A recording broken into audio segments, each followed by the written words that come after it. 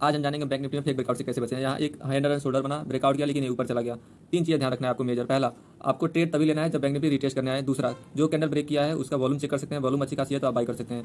तीसरा bank Nifty के major component check करना है। H D F C I C I C I Axis IndusInd अगर वो अपने सपोर्ट एरिया के पास है तो वहाँ, अगर सपोर्ट एरिया कमज़ोर है तो आप वहाँ बाई कर सकते हैं, नहीं तो अवॉइड करें। यही सेफ़ रहेगा। Subscribe for more video